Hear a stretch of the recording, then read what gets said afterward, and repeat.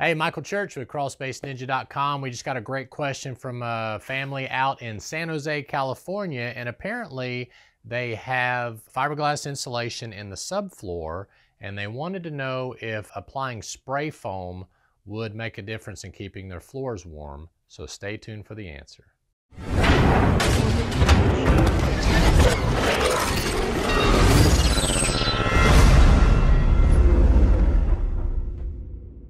Okay, first of all, you gotta realize that fiberglass insulation and spray foam are a little different. Uh, if you go with a closed cell spray foam, what it does is it not only insulates, but it also keeps air from transferring into and out of the living space where fiberglass or rock wool doesn't typically do that sort of thing.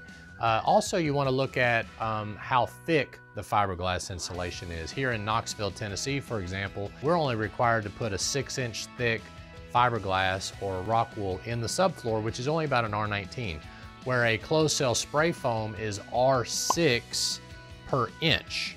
So if you can imagine, you gotta have three inches of spray foam and you still don't get to an R19. But the spray foam air seals where the R19 does not do that. Uh, some of the other things you want to think about in order to answer this question is, you know, your feet are warm and the flooring is cold. So the only way to actually get the floor warm to your body, because your body is what, 98 degrees, uh, is for your floors to be higher than 98 degrees.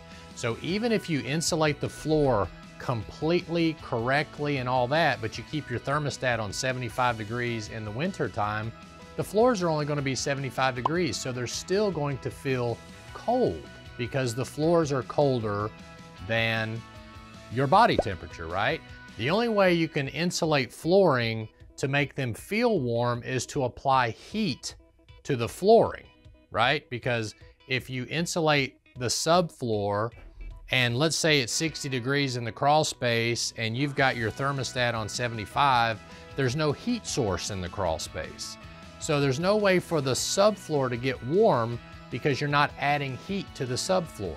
All the insulation's doing is just keeping your living space temperature from being absorbed by the crawl space. That's really all it's doing is slowing that down. So if it's 70 degrees here and 60 degrees here, insulation helps to slow the loss of heat to the crawl space, but it actually doesn't heat the floor. So anyway, great question from San Jose, California. Hope you liked this video. I know that probably wasn't the answer they were looking for. So if you want to heat your floors, install a heated floor system.